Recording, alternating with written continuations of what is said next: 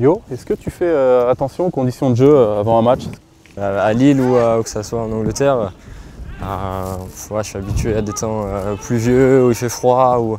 Voilà, donc après, euh, moi ça me, ça me dérange pas. Mais euh, moi j'ai un truc, c'est que je m'échauffe toujours en moulé et ensuite je joue en vissé, Ouais. n'importe quel temps. Quand j'étais petit, j'aimais tellement qu'il qu'il pleuve juste un petit peu pour pouvoir tacler partout.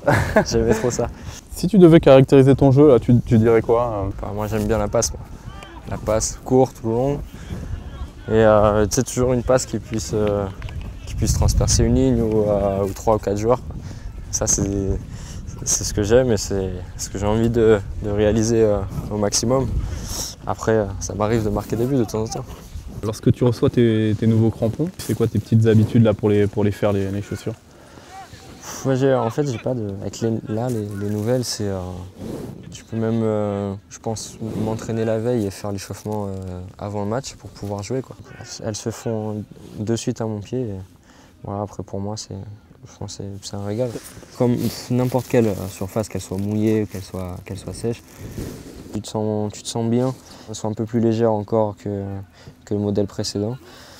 Et là maintenant, je pense que je pourrais pas changer de, chaussures. Pour moi, pour moi, elles sont parfaites celles-ci.